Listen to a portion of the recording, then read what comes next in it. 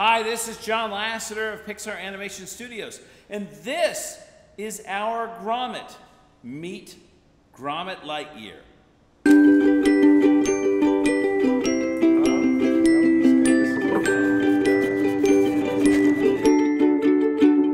I know that Nick Park and John Lasseter uh, have a friendship and they, and they know each other well. And I think Nick actually asked John if he would do a Gromit. And John said, Of course I would.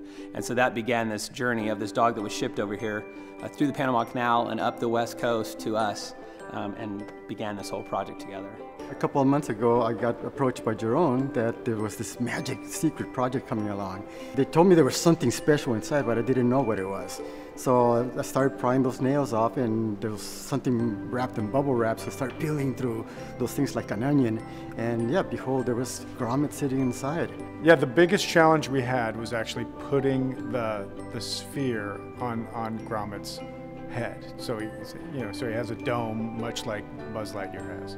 And the other stuff we changed on him was adding the backpack and actually adding his, you know, Buzz's chest plate where his buttons are. The other fun thing is Nephili thought of the idea of putting Andy on the bottom of the foot, so that's hidden underneath one of the feet. Thought that was a nice touch. Um, and then John signed it, which is cool as well. We were excited to find out that this was going for a children's hospital in Bristol, and we actually have an artist here who used to work at Aardman, and his children had actually been to the Bristol Children's Hospital, and he said it was one of the best uh, children's hospitals he had ever been to.